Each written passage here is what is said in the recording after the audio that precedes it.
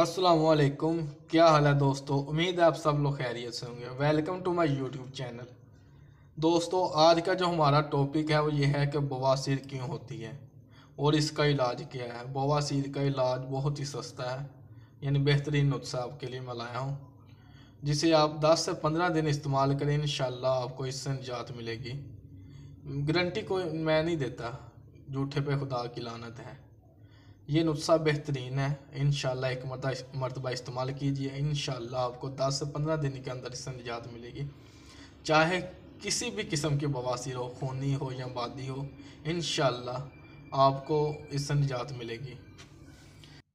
ये बीमारी जो है, ये हामला ख़वातीन में ज़्यादा होती है। और वो लोग, जो मोटापे का शिकार हैं, वो भी इस बीमारी में मुबतला हैं। आइए जानते हैं इसके बारे में। अगर चैनल को सब्सक्राइब नहीं किया तो मेहरबानी करके चैनल को सब्सक्राइब करें, ताकि हर आने वाली नई वीडियो का नोटिस आप तक पहुँच सके। ये बीमारी पूरी दुनिया में आम है और हर मर्द और ख़वातीन इस बीमारी में मुबतला है।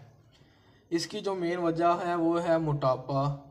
या ज़्यादा मिर्च मसाले का इस्तेमाल करना, गर्म और खुश्क अशिया का इस्तेमाल करना, वो लोग जिनको कब्ज़ रहती है, ये उनमें बीमारी बहुत आम है।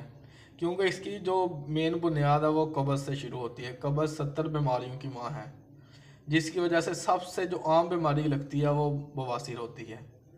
ये अंतरियों में खुश्की पैदा करती है और खाना नहीं आता टाइम से।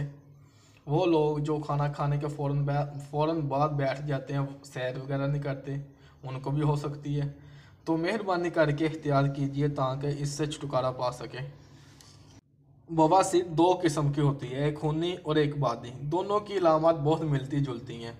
खूनी बवासीर में खाने वाली जगह के ऊपर, यानी बाहर के हिस्से की तरफ़ एक मौका बन जाता है, जिसके अंदर खून जमा होता रहता है।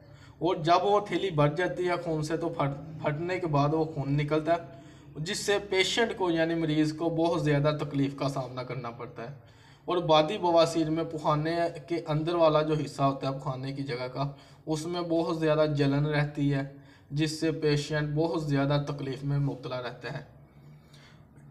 नुस्खे के जजा नोट फरमा लें। मगज़ नीम, दस ग्राम।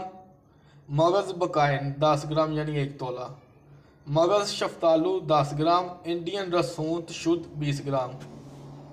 इन सब चीज़ों को पीसकर सफ़ूफ बना लें और 100 ग्राम मूली का पानी डालकर चने के बराबर गोलियाँ बना लें और साय में खुश्क करके शीशे की डब्बी में महफूज कर लें।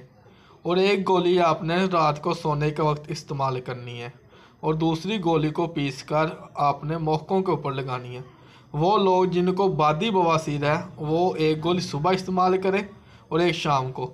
इन दस से पंद्रह दिन के अंदर आपको इससे निजात मिलेगी। इसके साथ इजाज़त दीजिए। अल्लाह हाफिज़।